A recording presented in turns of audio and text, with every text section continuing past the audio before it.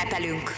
Tiszta szívből, büszkeségtől dagadó melkassal, a körülöttünk forrongó világ borzalmait legalább néhány órára félretéve. Együtt örülünk. Magyarország két nagyszerű magyar elme világra szóló sikerét ünnepli. Közel két évtizede várunk erre a pillanatra, és majd 30 év után ismét egyszerre két magyart is köszönhetünk az emberiség legragyogóbb tudós óriásainak listáján. Sok szeretettel köszöntöm én is még egyszer, olyan jó kimondani, hadd mondjam ki, két új Nobel-díjasunkat, Karikó Katalint és Krausz Ferencet. Köszönjük szépen, hogy itt vagytok!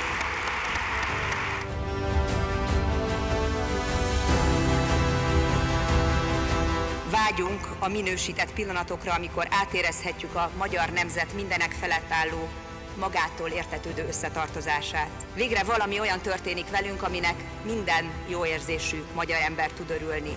Örülni sok mindennek lehet, de az igaz öröm az, amikor egymásnak örülhetünk. Magyarországról, kisújszállásról, Mórvárosából tisztábban látszik Karikót Katalin és Krausz Ferenc arcéle, saját világa, az egyszerű vidéki magyar életből előtörő teljesítménye, mint bármely más tájáról a világnak. A két Nobel-díjasunk maga is elismeri, hogy erőforrásul szolgált nekik az a tudás, amit magyar tanáraiktól a magyar iskolákban kaptak. Valódi pedagógusok nélkül nem juthatnak el a tehetségek, még a pálya elejéig sem, nemhogy a csúcsára. Ők adnak lendületet, ők adják meg a kezdő lökést, amely nélkül nincs elindulás.